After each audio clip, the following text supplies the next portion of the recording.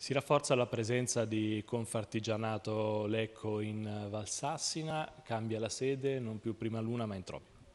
Sì, abbiamo voluto dare un segnale di una sede più prestigiosa ad Introbio eh, con eh, un ampliamento dei servizi ma soprattutto un ampliamento di eh, personale. Avremo 4-5 persone presenti nella nuova, nella nuova, sede che sarà proprio nella zona centrale di Introbio. Volutamente abbiamo voluto ehm, dire, scegliere una, una, postazione abbastanza baricentrica rispetto alla Valsassina e eh, diciamo anche una, una, una, bella sede per, per dare un servizio migliore ai nostri artigiani.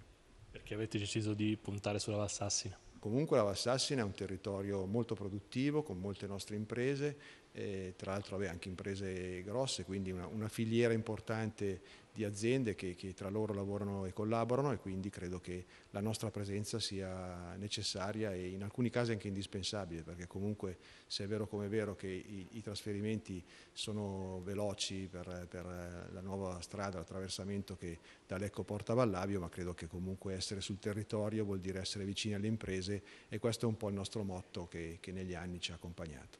A proposito sono in corso interlocuzioni anche con tanti altri sindaci del territorio. Sì, l'occasione di Aperto per Ferie è stata proprio l'occasione anche per avere confronti con i nuovi sindaci o i sindaci riconfermati, alcuni di questi, e devo dire che nei, negli incontri abbiamo come dire, scambiato tante idee, eh, la volontà di collaborare partendo proprio da Aperto per Ferie ma, ma anche su altre iniziative e eh, come dicevo se l'unione fa la forza credo che l'associazione assieme all'amministrazione comunale possano